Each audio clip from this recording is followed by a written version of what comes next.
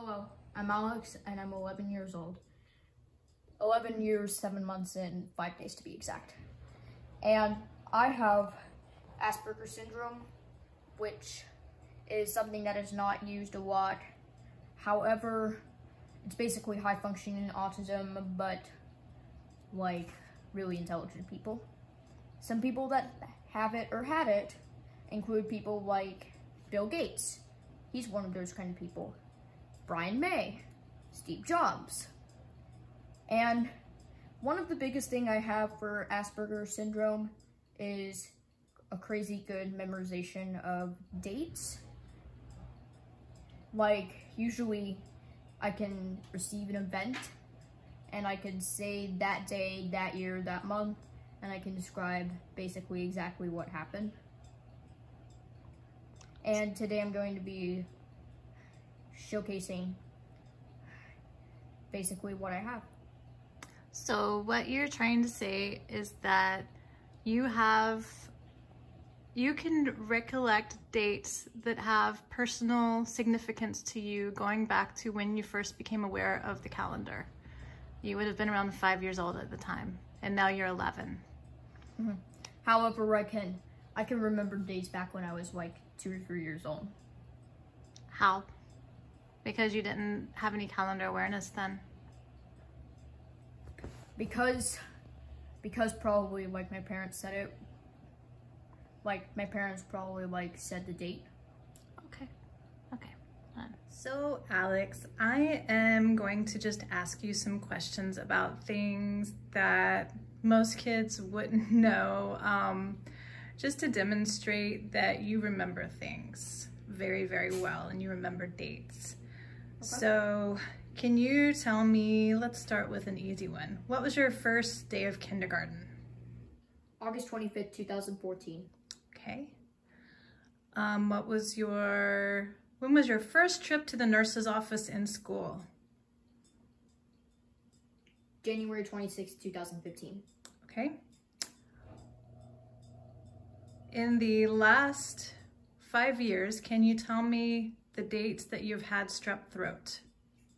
Okay, so November 4th, January 23rd, I mean November 4th, 2015, no, 16, sorry. Um, January 23rd, 2017, February 18, 2016, March 11th, 2016,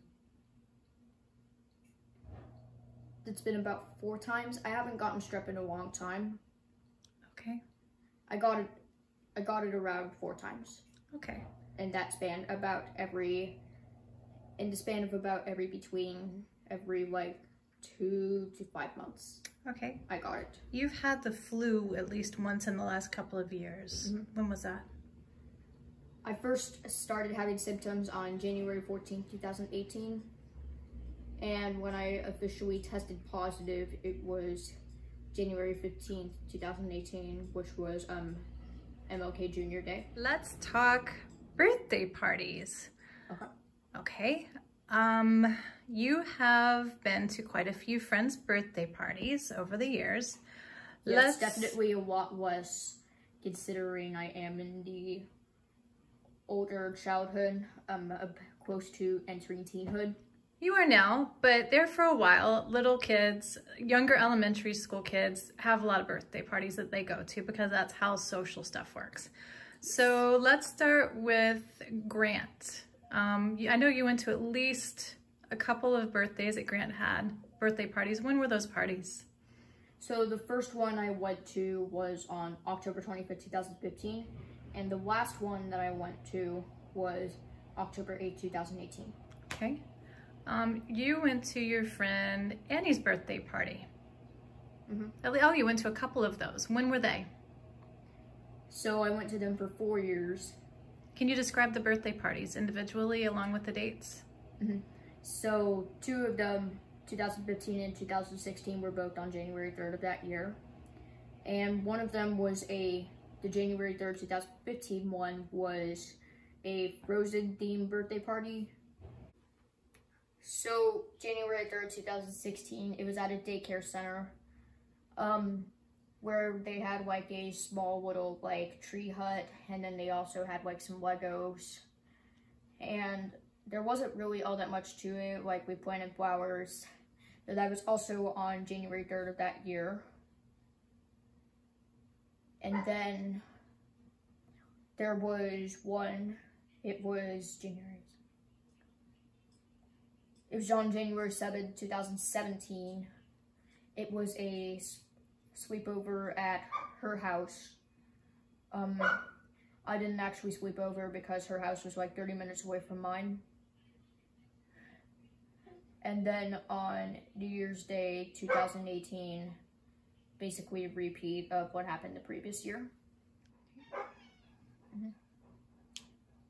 You have recently, over the last year or two, started a new sport. Um, you do gymnastics, parkour, trampoline, and Ninja Warrior training. Tell me those dates that you started. Okay, so my first class that I did was August 1st, 2019. The reason I entered that was because I'm an actress and I wanted to have some stunt training, and so that's what we figured would be best. And it's actually turned into a very cool hobby. I was in level one of six um, actually it was level two, but um, basically what happened was that um, there's a um, younger kid class for parkour, and that's basically like level one. So, um, yeah, August 1st, 2019 was parkour. And then for gymnastics and trampoline, the first day I started that was September 6th, 2019. I remember that much more vividly, like when it comes to details. However, some things that I did was uh, mid three quarter front flips, which on the trampoline, which is basically front flip to your back. And then I also did stuff like learning, like learning how to do um, backward rolls and like learning how to like tuck for backflips and stuff like that. And then for American Ninja Warrior, the first time I went, it was a it was December 5th 2019 I went to a gym that's right across the street from me and I did some simple obstacles like the ring toss and I did Wishes going down. Nowadays I am pretty high level I'd say and if you're wondering about where I am on all of those as of now for gymnastics, I am intermediate level. Um, close to advanced. That's basically trampoline, but I actually do some board gymnastics as well. Um, for parkour, I'm currently level 4 of 6, aka level 3, excluding the um, park kids is what they call it.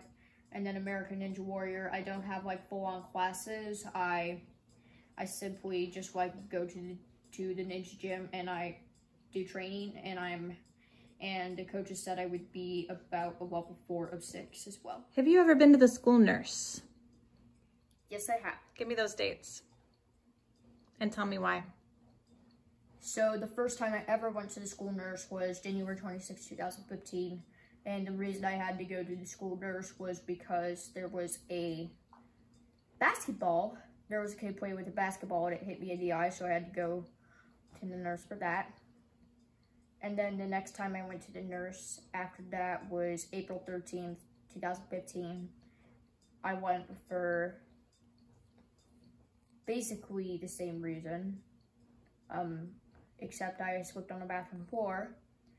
May 6th, 2015, I was pulling down blocks from um, a shelf where it shouldn't have been, and the blocks completely crashed on me. The bin completely scarred me and so it ripped off a lot of my skin. September 24th, 2015, I went because I was um, swinging in between tables and I basically flipped and I basically flipped. I don't know how I did that, but and then I had to go February 18th, 2016 because I remember I had like really bad strep throat and I didn't know it at the time, but I just simply, though like I just simply was doing this because I had a really hard time speaking. And so they immediately got me passed to the nurse's office and sure enough, I had like a, I had a 102.2 degree fever and so they sent me home, got tested for strep, came back positive. And then I went on May 26th, uh, 2016 because I was playing with a paper airplane and I tripped on a bunch of rocks. So there was that. I went on November 3rd, 2016 because I had a fever and the next day I did get another positive test for strep throat. And then I got to the nurse's office again on um I actually went actually went on October 17th and September 16th for lice 2016. Ew.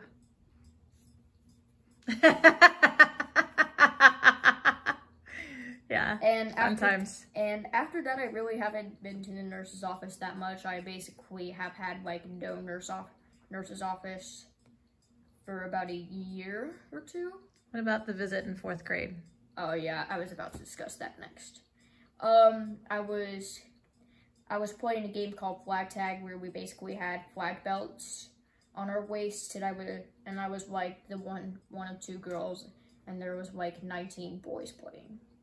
And I remember I had a really big crush on this red-haired boy who was like who was a sprinter and he was like very very handsome. And I remembered that I was actually playing and I was trying to get his black belt. And I didn't get his black belt.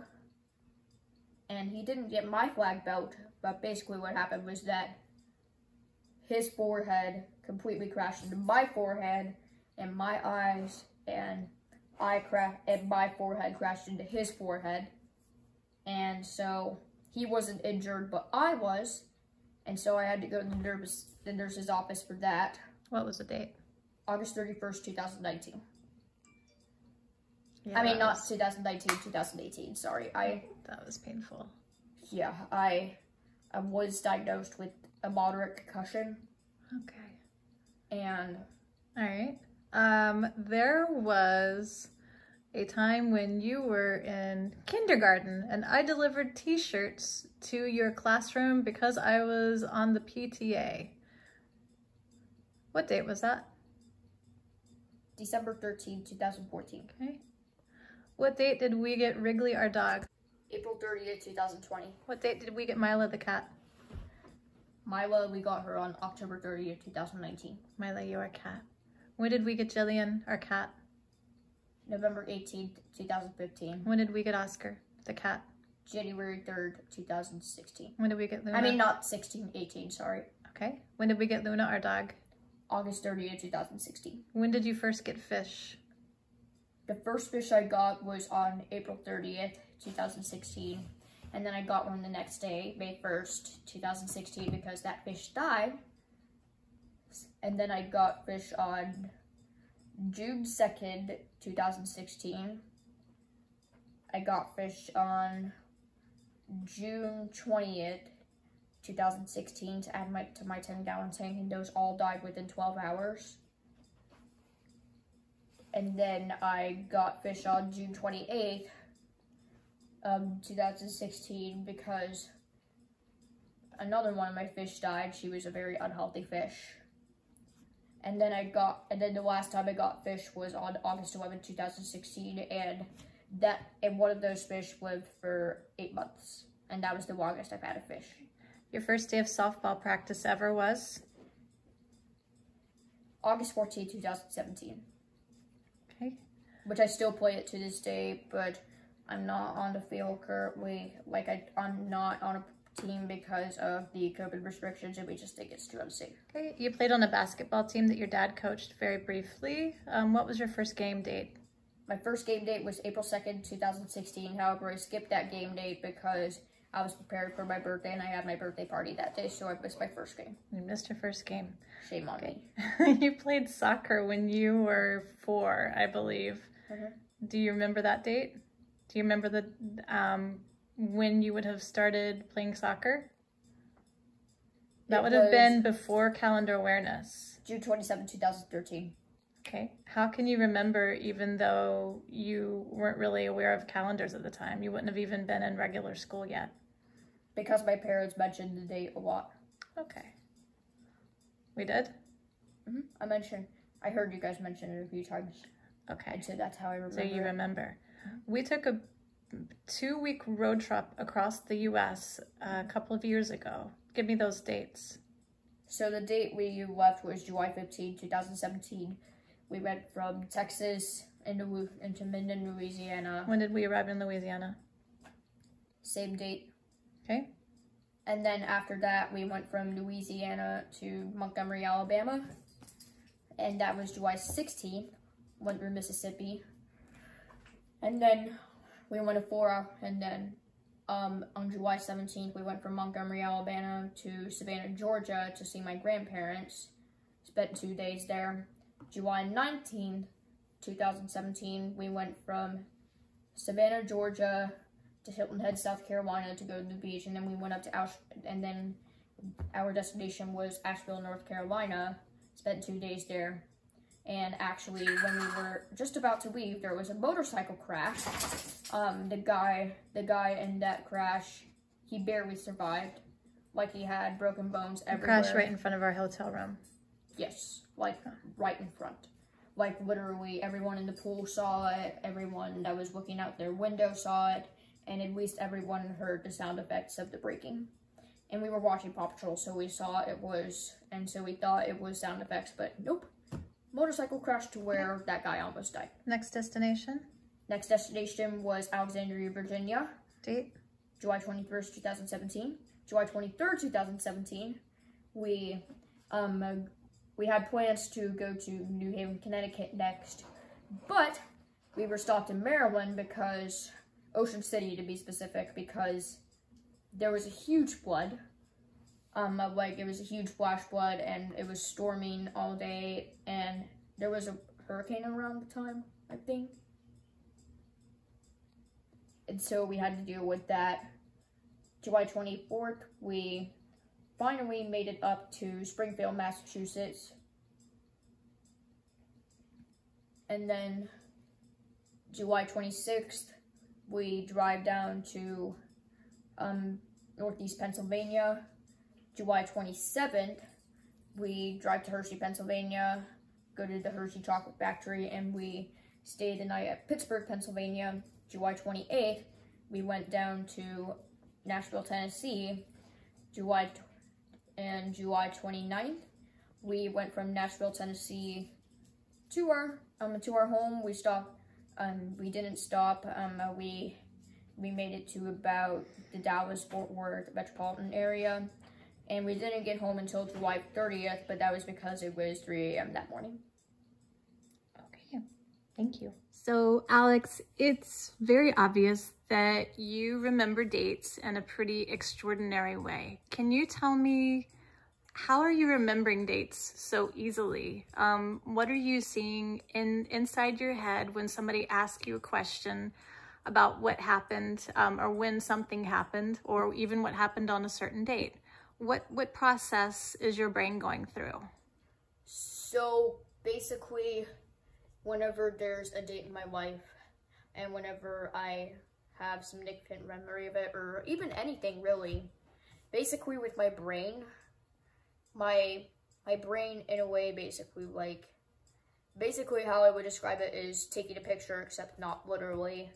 Like I would remember that date specifically and I would basically have like camera memory. It's like photographic memory for dates. Yes. Okay.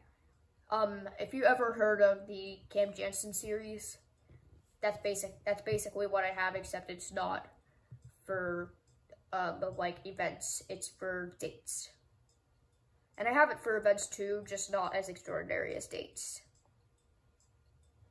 Tell me about Cam Jansen. I'm not totally familiar with that. So it's a book series about this girl who has a photographic memory. And basically like if she sees something like for say there was one time she went to this museum and she noticed um uh, that there were 34 bones in this specific dinosaur but three of the bones were missing. She took a photo of the last time she went to that museum where the where the full bone structure was up and when she and when she got to that same dinosaur um, skeleton, she she basically grabbed the photo from her brain, not literally obviously, but basically she pulled the photo up in her brain and it did not match up to what was there currently. So you're ta- you're saying like her, your brain takes a picture of dates. Yes. Okay. Do you think this is normal for people to have? Not at all. Like, if there's like a super significant event, like for say, the day you graduate high school, Yeah. pretty much everyone's going to remember that date. However, there's a lot of people who don't. And I even remember some of the smallest events. Like what? Um, I was two, I wasn't even two years old at this time, but, and I don't really have a huge recollection of what happened. However, I was than two years old, close to, close to turning two, and we, and me and my mother moved to Nashville, Tennessee on March 11th, 2011. Wow, you know that date. How do you how do you know? You wouldn't have been aware of a calendar at the time. How do you know this? Because I because that day and a lot of times from that my parents have discussed the idea. Well my mom considering that she was the only parent that took me but yeah she would repeat the date a lot of times and she mm-hmm. actually said the date a lot on that specific day and so that's how I remembered the date. You remember. So like you even before you could see calendars, and before I even you knew how to could read hear a date before you could read. You could hear take the a photo and boom Even it's it. like an auditory photo as well. Yes, and this is and this is ten years later, and I still know the date. Okay, that's good to know. Okay, let's give a little bit of background here. Um, All right. When did you start to read? I started to read at three years old. I actually started spelling at two years old. Hey, Joey. Hold on, let me grab my cat. Okay, you're spelling a two. How much were you spelling at two? I was spelling about a hundred words plus at the time, and they were actually and they weren't words like mama, dada, stuff like that. I mean, of course, I could spell those. However, I could spell words as extraordinary as crocodile at the time. Okay, and I've got a list of those words. I can verify I remember- for sure. and then reading. I began reading at three. I had an iPad. It was like one of the first iPads ever. I had an iPad, and I had a lot of apps downloaded that helped me with my reading. Here we are. A few more questions, Alex. Yes. You have told me that you can you you know what days are on specific dates. Um, you just know. How do you know? Because, I mean, even before it was like truly calendar aware, like usually my parents would say a date, like for say, um, I'm gonna throw a random date out there. This isn't like a specific memory date Um, I'm just gonna throw out September 2nd, 2013. Okay, what day was that? I know that was a Monday because I was able to read Sunday, Monday, Tuesday, Wednesday, Thursday, Friday, Saturday. You would have been four. Yes. Okay. So And I will say that day was actually a significant day because that was my first day of preschool. okay, you remember this. Okay. Um, November fifth, two thousand fifteen. What day? November 5th, 2015. Mm-hmm. That was a. So, Halloween was on. And this actually requires a lot of math too. Halloween was on a Saturday, and so. Usually, and so that would have been on Thursday because Sunday would have been the first, Monday would have been the second, Tuesday would have been the third, Wednesday would have been fourth, and Thursday would have been the fifth because Halloween 2015 that was on a Saturday. So, And so and so not only was I and so not only would I just simply read a calendar, but it actually requires a lot of math. You're doing date math. So Yes. you're you're going back to events where you know what the date was and the day, and then you're doing associative math. Yes. And math is a strong point for you. Do you want to talk about that real quick? Yes. So Do you like math? yes, I love it. It's definitely my favorite subject. If you ever ask me what my favorite subject is, I will never say, "Oh, I love English. I love reading." Which don't get me wrong, I love reading, and I have the best English teacher in the world. Credit to you.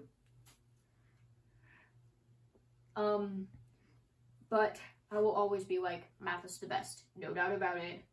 And some of my strong points in math, I'm in the pa- I'm in PACE math, which is um, which in my district is basically like the advanced placement math, like advanced math, and I actually have a 100 in that.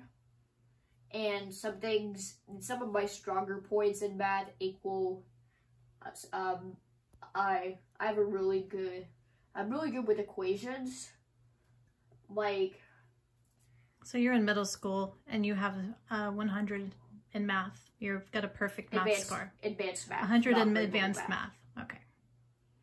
Good to know. Okay, let's try a different date. Okay.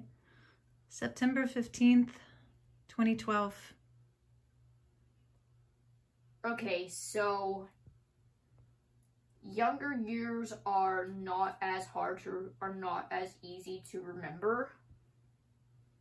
However, September 5th, 2012, that would have likely been a Tuesday.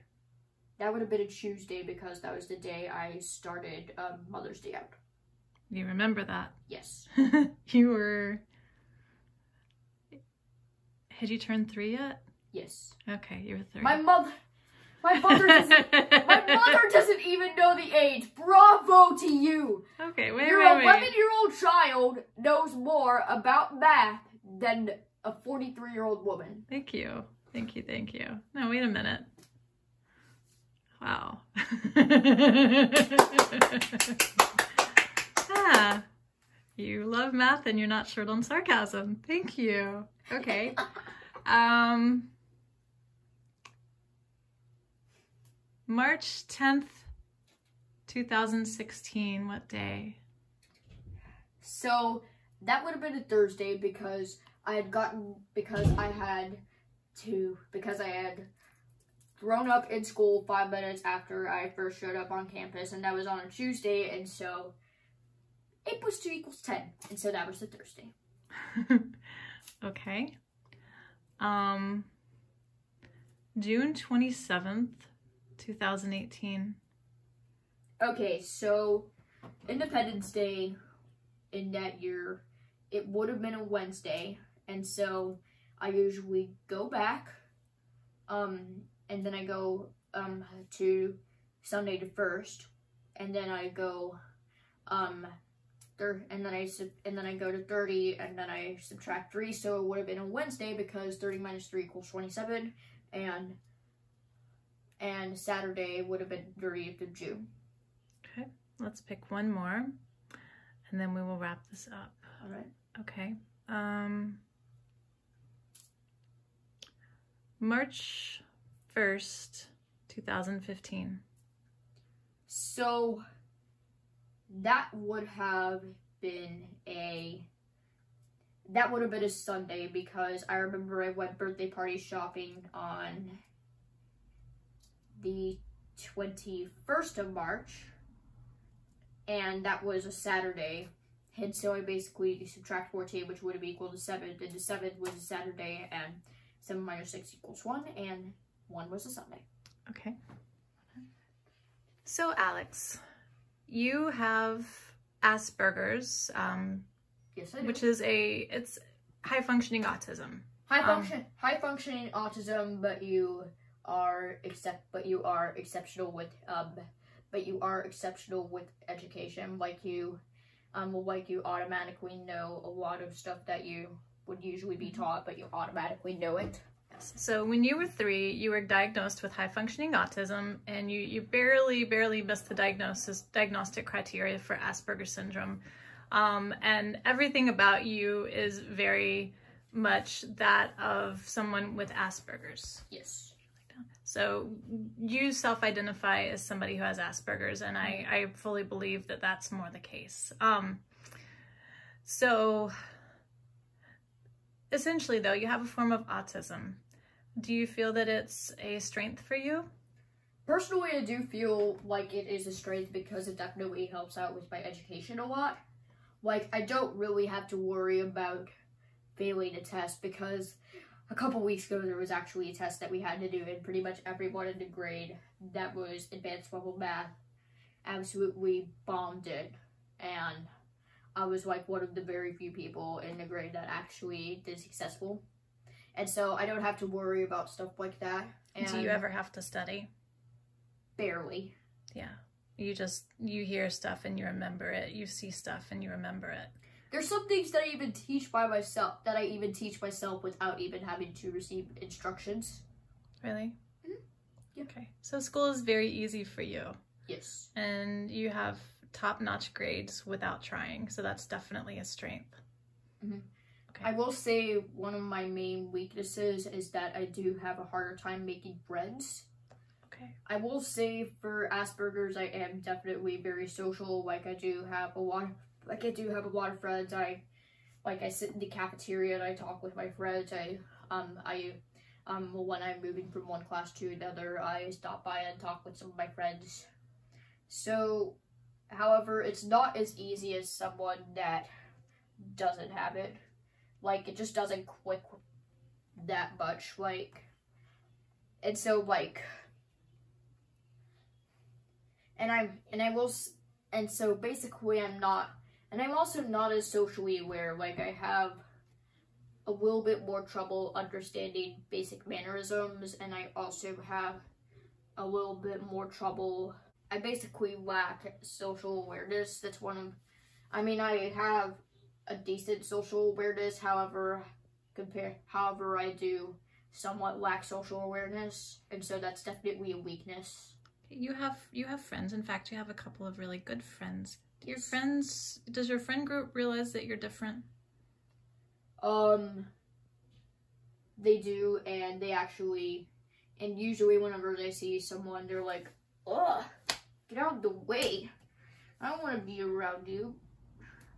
But with me, they just see me as a typical person. They see me, this, and they act, and all my friends actually see me as a really cool person. Like everyone wants You to are be a cool person. like everyone wants to be around me everyone wants to like everyone wants to see what my life is about everyone everyone actually thinks that what i have is very cool and i remember this would actually happen at like the beginning of the school year if you're wondering the date it was august 20th of 2020 i was in my seventh period class which was english and I remember at the end of the class, I was describing what Asperger's was like for me and how it benefited me. And every in every one of my class, everyone actually was just in awe. They were like, they were like, "Oh, that's very cool, Alex." I'm, I actually kind of wish that I had it too. It actually sounds like, it actually sounds very beneficial. And my English teacher, I really want to say her name because she's so amazing. Let's call her Mrs. B. Yeah, she's special, isn't she? yeah, she she's definitely like my favorite teacher of all time. She's she's a really amazing person. I love her. And she one of the reasons we click so much is because her daughter actually deals with the same thing I I have and um and like so she actually understands me and she and regard in regard with some her actually understanding me like she thinks I'm a really cool person and she actually says like I'm like one of her favorite students. Um, and like I'm basically her dream student. I can imagine. that teachers love working with you because you are Yeah. passionate about learning and you're smart and you're driven and you're going to do amazing things in this world. Do you have anything else you'd like to tell everybody?